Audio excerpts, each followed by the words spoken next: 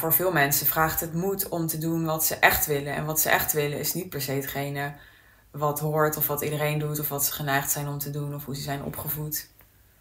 Dus uh, dan geldt die quote van Marianne Williamson: hè, van we zijn vaak banger voor ons licht dan voor de darkness.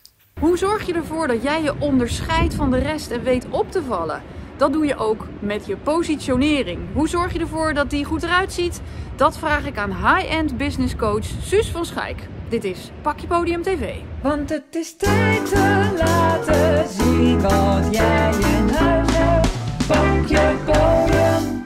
Ik wil het graag met jou hebben over high-end positioneren. En hoe belangrijk is je zichtbaarheid daarbij?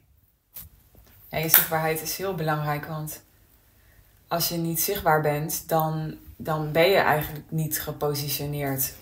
Want mensen hebben het nodig om je niet alleen te zien, maar ook je visie te horen en te ervaren. Om ja, ervoor te zorgen dat jij gepositioneerd bent in de markt.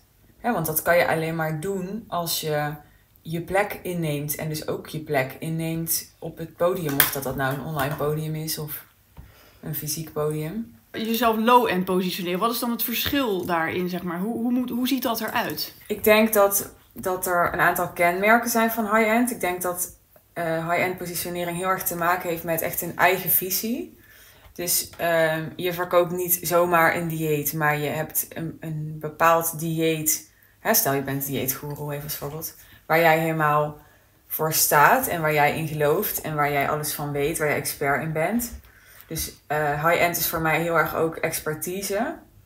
Waarbij low-end ja, um, van alles kan zijn. Dus high-end is ook uh, specialistisch, vind ik. dus als, je, als ik even een andere branche neem, dan zou een, een, een basisarts zou meer low-end zijn. Hè? Die is minder hoog opgeleid, verdient minder, veel algemener opgeleid. En mijn hartchirurg, die, die is veel schaarser, heeft meer opleiding gehad, uh, werkt veel specialistischer, specifieker. Um, is ook waardevoller, niet als mens natuurlijk, maar wel in zijn professie, juist omdat er dus meer schaarste in is. Ja.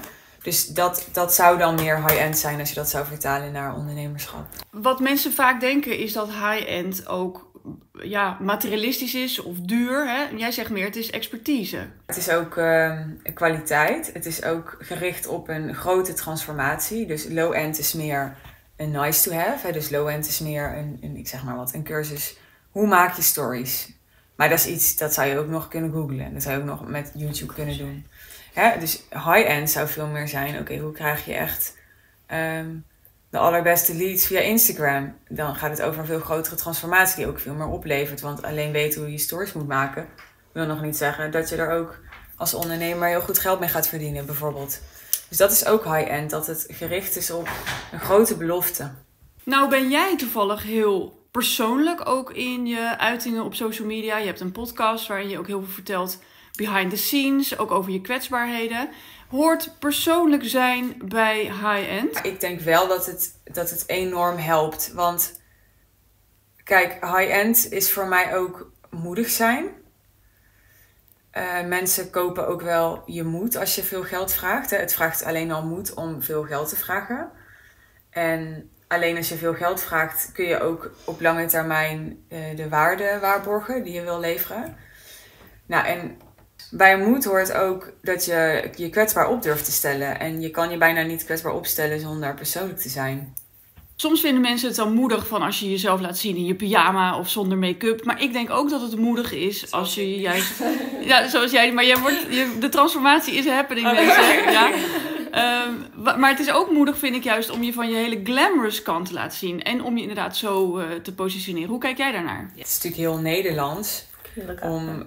Um, om heel, ja, wat is het juiste woord? Om vooral heel normaal te doen. En daar, daar heb ik geen oordeel bij. Maar uh, ja, voor veel mensen vraagt het moed om te doen wat ze echt willen. En wat ze echt willen is niet per se hetgene wat hoort of wat iedereen doet of wat ze geneigd zijn om te doen of hoe ze zijn opgevoed. Dus uh, dan geldt die quote van Marianne Williamson: hè, van we zijn vaak banger voor ons licht dan voor de darkness. Heel mooi. Nou, ik wens je heel veel succes Suus vandaag met je event. de High Level Sales One Day Intensive. Woep woep. Dankjewel.